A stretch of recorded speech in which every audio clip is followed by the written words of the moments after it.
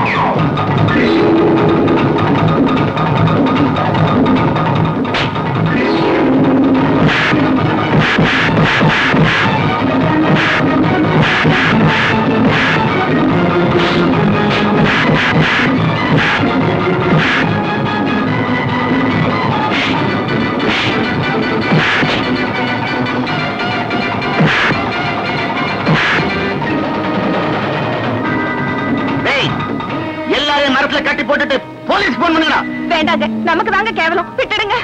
Mister Sundararajan என்ன இருந்தாலும் நீங்க தான் என்னோட மாமனார். என்னைக்கு இருந்தாலும் நான் தான் இந்த வீட்டு மருமக பிள்ளை. அதனால கொஞ்சம் பொறுமையா இருங்க.